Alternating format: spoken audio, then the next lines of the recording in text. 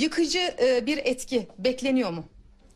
Tabii e, günlerdir konuşulan sistem nihayet Orta Akdeniz üzerinde dün öğlen saatlerine itibaren oluşmaya başladı.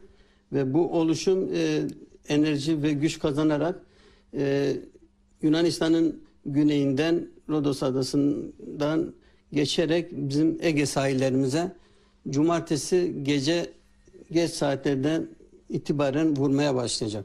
Pazar günü e, sabaha karşı İzmir merkeze ve sahillerine ulaşıyor. E, O zaman sahil kenarında kimse olmasın mı? Pazar günü sabah saatlerinde, öğle saatlerinde çok yükselecek o şiddet. E, o saatlerde vatandaşlara sokağa çıkmayın der misiniz?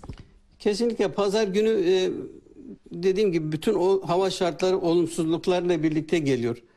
Özellikle öğlen saatlerinde e, fırtına bu tropikal fırtına etkisini tam hissettiriyor. İzmir ve Ege sahilinin tamamında.